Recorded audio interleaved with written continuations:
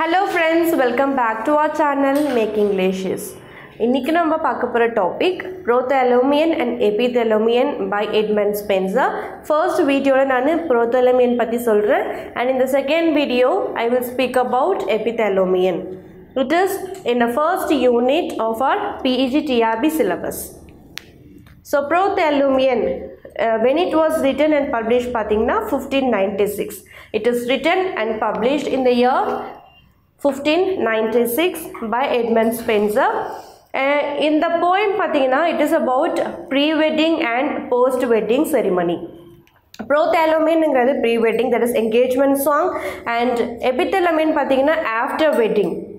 So அதை வந்து அழகாக வேர்சஸில் நமக்கு பியூட்டிஃபுல்லாக விஷுவலைசிங் இமேஜஸை யூஸ் பண்ணி கொடுத்துருக்காரு நம்ம poet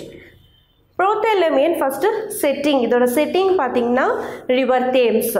Prothalamion sit along the banks of river Thames ஏன் நம்ம போயிட்டு தேம்ஸ் ரிவரை சூஸ் பண்ணான்னு பார்த்தீங்கன்னா Thames river which men for magnificence and glory so first வந்து ஒரு க்ளோரியஸான ஒரு பிளேஸ் அவர் சூஸ் பண்ணுறாரு ரிவர் அப்படின்னாலே நமக்கு அழகாக ஸ்வான்ஸ் டக்ஸ்லாம் இருக்கிறத நமக்கு ஞாபகம் வரும் இல்லைங்களா? ஸோ அண்ட் தேம்ஸ் ஓகே அந்த தேம்ஸை வந்து beautifully pictured including the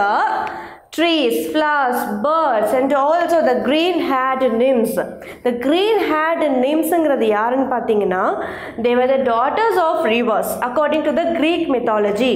The poem is based on that Greek mythology. Our Greek mythologyயில் இருக்க அந்த gods, goddesses எல்லாம் கொண்டு வந்து இந்த poem எழுதியிருக்காரு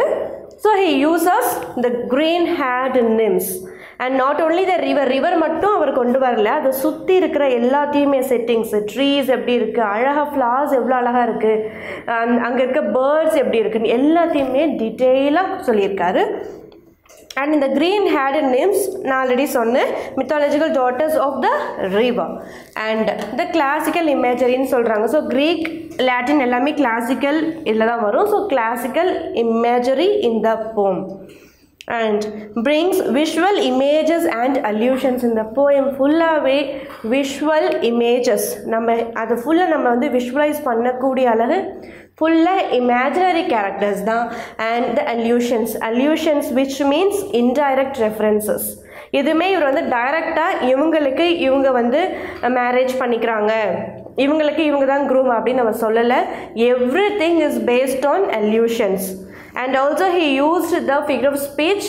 refrain ரெஃப்ரெயினும் யூஸ் பண்ணியிருக்காரு. அது என்னங்கிறது நான் நெக்ஸ்ட்டு சொல்கிறேன் க்ரீன் ஹேட் அண்ட் நிம்ஸ் இல்லை க்ரீன் ஹேட் நிம்ஸ் வந்து டாட்டர் ஆஃப் த ரிவர்னு சொன்னேன். அவங்க என்ன பண்ணுறாங்கன்னு பார்த்தீங்கன்னா they are collecting flowers to bride and groom மணப்பெண் மணமகன் அவங்கள அலங்காரம் பண்ணுறதுக்கான ஃப்ளவர்ஸை க்ரீன் ஹேட் நிம்ஸ் அதாவது டாட்டர் ஆஃப் த ரிவரே போயிட்டு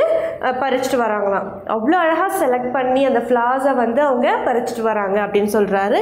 அண்ட் இவங்க வந்து ஃப்ளாஸ் பறிக்கிறாங்க. அண்டு ஸ்வான்ஸ் இவர் வந்து நான் ஃபஸ்ட்டே சொன்னேன் அவர் டைரக்டாக பிரைட் யார் க்ரூம் யார் அப்படின்னு சொல்லலை.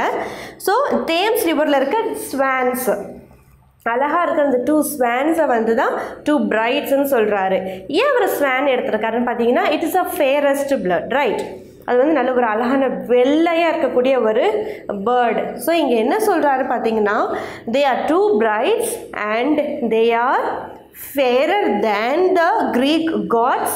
Zeus and Leda ஜியூவஸுங்கிறது வந்து Zee5 Zephyrus okay Zephyrus and Leda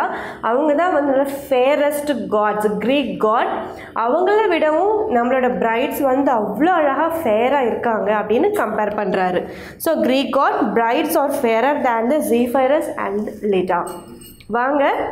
இப்போது பிரைட் யார் க்ரூம் யாருங்கிறத பார்க்கலாம். Uh, set is set, already I have written no, it is set in the reverse themes, engagement song to celebrate twin marriages. Okay two swans இருந்தாங்க ரெண்டு brides